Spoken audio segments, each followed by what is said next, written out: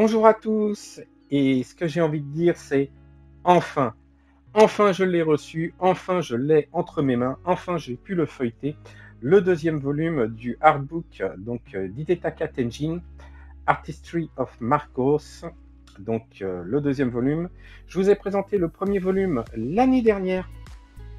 Et oui, il s'est écoulé un an euh, entre le moment où j'ai pu avoir euh, le premier volume qui nous avait été présenté en exclusivité euh, par Hidetaka Tenshin lui-même lors euh, du Japan Tour. Et donc j'avais vu qu'il y avait un deuxième volume de prévu. Deuxième volume de prévu qui devait sortir tout d'abord fin juin 2023, puis août 2023, puis a été de nouveau reporté en décembre 2023 euh, pour finir, euh, bah, il n'est pas du tout distribué euh, dans nos contrées. Il n'est pas du tout distribué, en tout cas en Europe, puisque bah, je l'avais précommandé et commandé sur Amazon. Et en gros, ils ont fini par me dire bon, bah, on ne sait pas du tout quand est-ce que vous pourrez l'avoir. Voulez-vous annuler votre commande J'ai donc annulé ma commande et je suis passé directement par les États-Unis où là j'ai donc réussi à avoir euh, cet exemplaire. Euh, alors pourquoi on l'a pas en Europe? Euh, Je suppose que c'est euh, toujours les problèmes de droit entre euh, Big West et Harmony Gold qui posent problème. Je suppose, hein, parce que je vois pas ce qui pourrait euh, bloquer autrement. Mais en tout cas, c'est vraiment la galère pour obtenir cet ouvrage. Euh, J.R. Ratatars euh, a, déjà fait une présentation de cet ouvrage parce que lui, il l'a eu euh, un petit peu avant moi. Ça commence à arriver hein, parmi tous mes amis qui l'ont commandé et personne que je connais. ça commence à arriver, mais voilà, c'est pas évident de l'avoir. Et comme je vous dis, mis à part passer par Amazon avec un, un- en passant par les États-Unis, il n'y a pas moyen d'avoir cet ouvrage autrement. Mais donc concernant euh, cet ouvrage, donc on repart sur une couverture assez similaire au premier tome. Euh, ce tome-là, donc on le voit avec les, différents éléments, mais c'est précisé également ici. C'est donc, il est donc consacré euh, à Macross Frontier, les films, ainsi que Macross Delta, la série et les films, ainsi que différents éléments d'archives. Euh, derrière, toujours euh, pas mal de- d'illustrations donc qui donnent vraiment envie de, de regarder la suite. Le prix en dollars, donc de, euh, on va arrondir, hein, 50 dollars. Il m'a quand même coûté moins cher. Il m'a quand même coûté moins cher, frais de port inclus. Euh, alors quelques petites différences par rapport au volume 1, puisque le volume 1, la tranchée noire, là, elle est blanche. Euh, et également le volume 1, alors je sais que les, écritures sont aussi métallisées, mais je crois pas qu'elles se soient métallisées euh, dorées. Alors, on va ouvrir pour voir un petit peu l'intérieur. Alors, je vais pas tout vous montrer, hein, bien évidemment. Donc là, nous avons... euh, alors, attendez, on va reculer un petit peu la caméra pour avoir une vue un peu plus générale. Voilà, bon, c'est pas encore tip-top, tip-top, mais on en voit un petit peu plus. Donc, sur, cette sur ces pages-là, euh, c'est le sommaire. Donc, on a ici donc, les, ce qui est consacré au film Macross, Macross Delta, Macross Delta les films. Volker Launch, alors Volker Launch, euh, j'en dirai un peu plus euh, tout à l'heure, et donc les archives. Bah ici justement, ça décrit un peu tout. Alors, J'ai dû sauter une page. Voilà, donc la préface d'Itetaka Tenjin et des détails euh, sur l'ensemble des, des parties qui vont être abordées avec déjà des illustrations euh, magnifiques. Hein, il y en a vraiment pour tous les goûts. Et ici, euh, les fans reconnaîtront le SDF2 euh, Mecha Road One, donc que l'on voit dans euh, Flashback. Alors, on fait attention, il risque, il risque, pour ceux qui, regardent euh, l'ensemble des séries et des films, il peut y avoir des spoilers euh, dans cet ouvrage, si vous n'avez pas encore vu tous les films. Donc là, Macross Frontier, les films, et là déjà, des illustrations euh, qui, qui envoient du lourd, quoi. Donc là, une, une scène de combat. Alors, quelques illustrations sur les doubles pages. Alors, c'est vrai que c'est toujours dommage d'avoir les illustrations coupées en deux. Donc ici, hop, alors, il va falloir que je choisisse euh, un côté où vous présentez, parce que ça va être compliqué de vous présenter les deux. Donc ici, c'est euh, une boîte, je pense, oui, Bandai Spirit.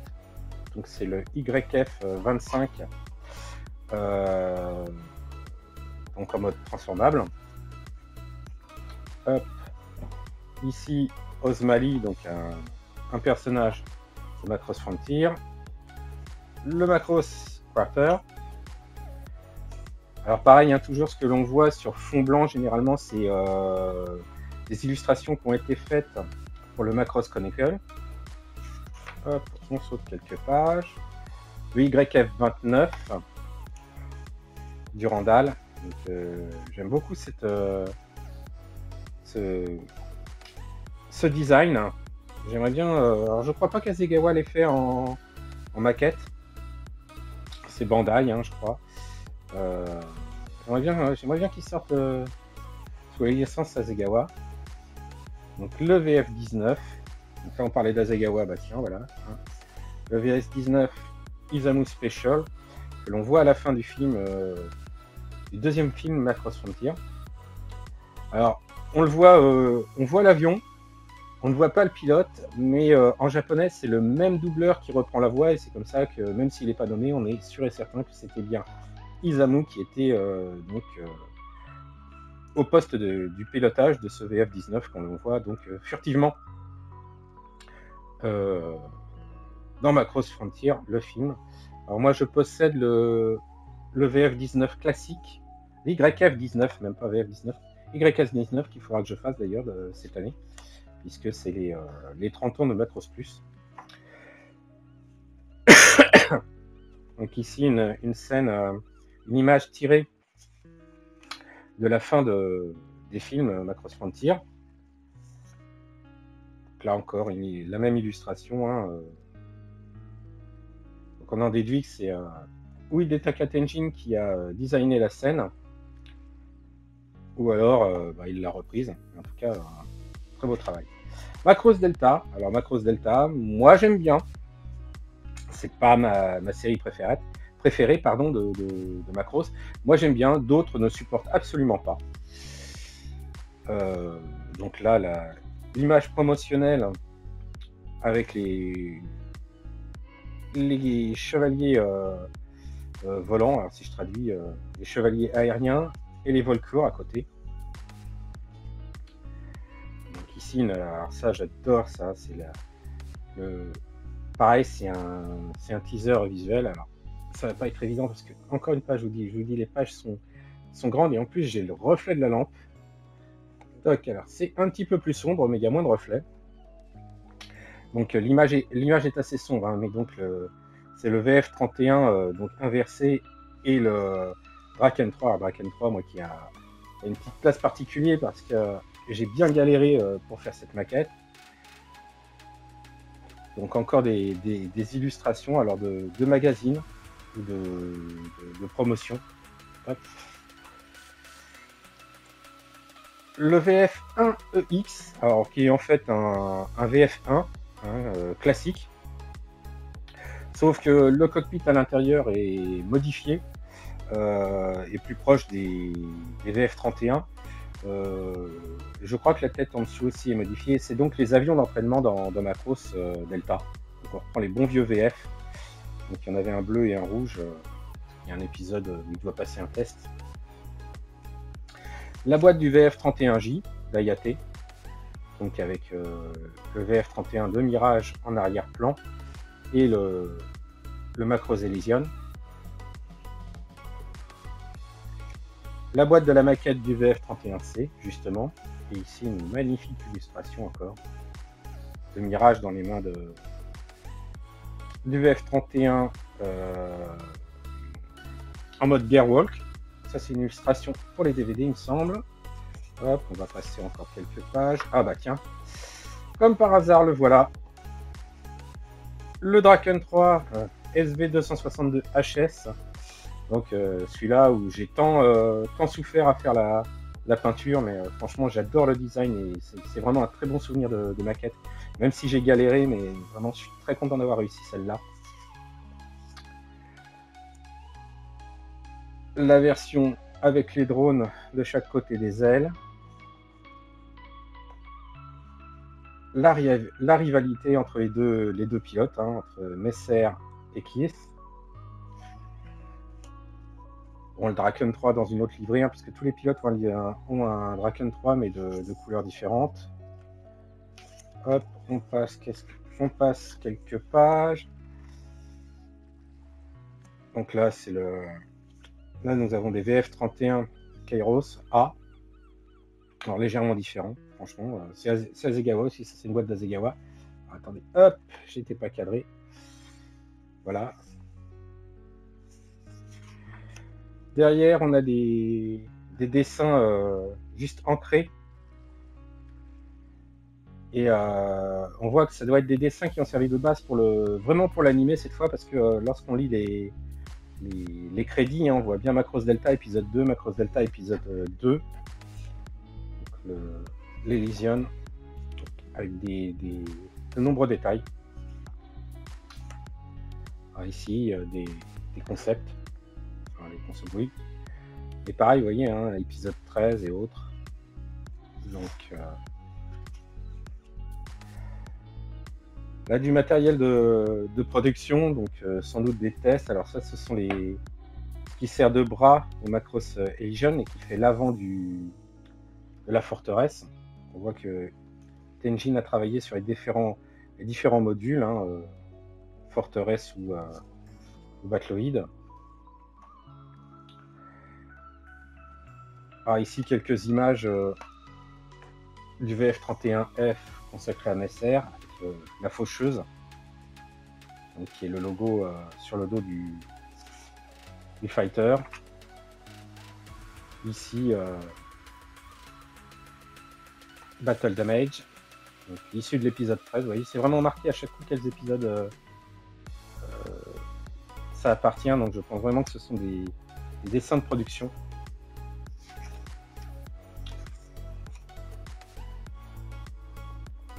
Là, le VF22S que j'ai fait en maquette, mais moi avec la livrée euh, de Milia.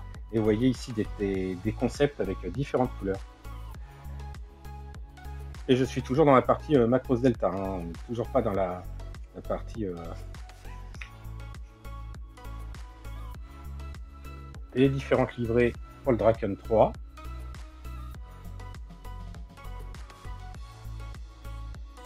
Très sympa aussi. Hein, donc, euh, vraiment le, celui que j'ai fait en maquette, mais avec différentes versions euh, possibles et étudiées. Très sympa aussi. Les crestes, donc les, les symboles, que ce soit donc chez, euh, chez les ennemis, je ne me souviens plus le, nom, ainsi que dans l'équipe donc côté humain. Les personnages euh, principaux de Delta, donc euh, Ayate et Freya Wion. Hop, on passe quelques, quelques pages et là on tombe sur les, les super euh, armors VF-31, vous voyez, suréquipés avec des, des, lance-missiles partout. Moi personnellement, je trouve ça un peu too much. Hein. J'ai un peu de mal avec cette, version-là. vous l'avez en version Battloid. Encore des crestes. Euh, utilisées ou non. D'ailleurs on voit que ça c'est le crest. Oh, pardon. Donc là nous avons le, crest bleu et rouge, c'est le crest, donc le symbole pour Max Emilia Genius. Donc on l'avait jamais vu avant, c'est amusant. Donc ça, c'est des designs qui avaient été étudiés pour faire la même chose, mais donc c'est celui-ci qui a été retenu. Cette fois-ci des tests de peinture, enfin de design pour le VF31A. AX, pardon. Il est un petit peu différent, il a les, les ailes disposées différemment. Donc ça, c'est les affiches promotionnelles pour le premier film, si je ne me trompe pas, de Macross Delta. Alors, sachant que le premier film de Macross Delta, c'est une compilation des, épisodes, hein. il n'y a pas d'inédit. Donc ça, c'est les, les, fighters des antagonistes. Alors là, on va arriver, je préviens tout de suite, alerte spoil. Donc, puisque j'ai prévenu, j'y vais. En effet, dans Macross Delta, le deuxième film, à la fin, à la fin, on peut apercevoir le Mega Road One, donc euh, endommagé, là, comme ceci. Et on voit dans la baie du Mega Road One, sans détail, donc on voit que cette, euh, illustration est de, est de Tenjin, donc a priori ce qui correspondrait au pont du Mega Road One. On voit deux silhouettes féminines. Alors dans le film c'est très furtif, mais là bon à l'arrêt on voit bien une silhouette féminine avec une casquette et une un peu plus petite avec les cheveux. Euh, pas de doute possible, on est bien devant euh, Misa Ichijo puisqu'elle a épousé euh, et Minmei qui est partie donc à bord du, Mega Road One donc qui a disparu corps et bien au cours de sa mission d'exploration. Euh, et donc pour X raisons, on l'aperçoit à la fin du deuxième film de Macross Delta. J'aimerais bien quand même que euh, Kawamori Sensei euh, termine l'arc concernant ça, parce qu'il nous balance des petites, des petites choses comme ça, mais il se disperse dans plein d'autres choses et au niveau histoire, ça avance pas. Donc là encore des concepts sur la position du pilote dans le, dans le cockpit ainsi que d'autres éléments hein, euh, visibles dans le film. Hop, j'avance un petit peu. On arrive, on arrive au Walker Launch. Alors Walker Launch, c'est un film d'animation qui a été fait et projeté euh, lors des concerts des Volcures. Alors les Volcures, ce sont les chanteuses dans Macross Delta, certes, mais euh, les chanteuses qui doublent qui font les voix dans les chansons uniquement, hein, pas dans les dialogues. Euh, le groupe Volcure, donc euh, composé de, cinq euh, idoles hein, japonaises, existe réellement, a sorti plusieurs albums et donc fait des tournées au Japon. Et pour leur dernier, leur dernier spectacle, je pense, ou avant-dernier, je ne sais plus, il y avait donc un film qui a été projeté avant le début du concert. Et c'est donc ce film dont Tenjin donc, a dû faire les, le design. Euh, on voit ici les différentes combinaisons, des combinaisons de différentes couleurs. Ici, on voit le nez des, avions, donc des VF-31, avec marqué Vulcure sur le côté, euh, Tactical Sound, euh, de différentes couleurs, que l'on revoit également sur cette vignette-là. Et en fait, ça, ça rejoint les, les maquettes que j'avais pu voir en, une photo de salon de présentation d'Azegawa, pardon. Et euh, il y a eu un VF31 fait de chaque couleur pour chaque chanteuse. Et donc ça a été repris là dans, ce spectacle. Donc ici, là, c'est le, storyboard, je pense, euh, de l'animation. Et voilà, tiens, bah, d'ailleurs, je parlais des maquettes. Voilà les, les, illustrations, les box art des différentes maquettes. Donc la version Freya euh, orange et rouge, la version euh, Makina plutôt euh, bleu-rose. Euh, la version Kaname qui elle sera plutôt dans les tons jaunes, la version Reina qui est donc plutôt dans les tons verts, et la version Mikumo qui sera plutôt dans les tons bleus, et ici une illustration concept. Et donc les combinaisons de vol des Volcures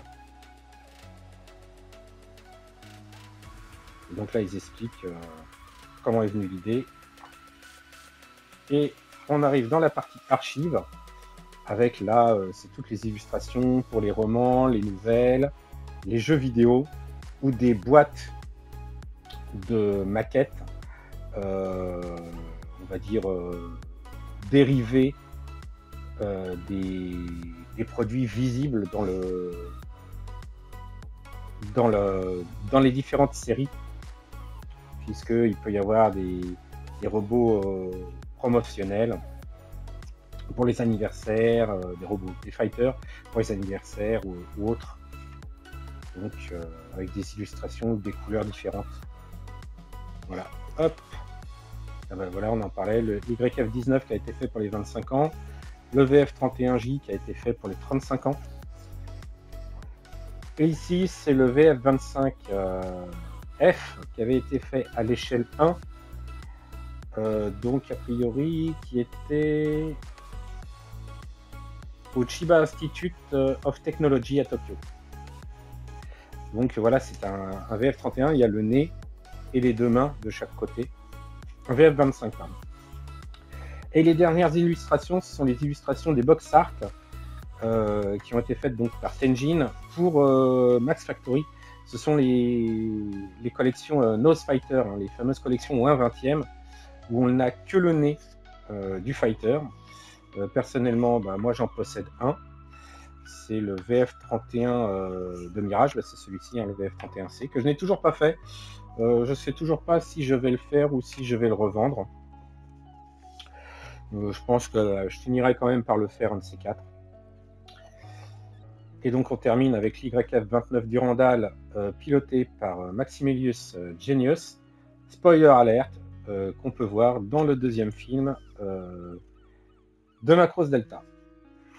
Voilà, donc je ne vais pas vous cacher que je suis très très content d'avoir réussi à mettre la main sur cet ouvrage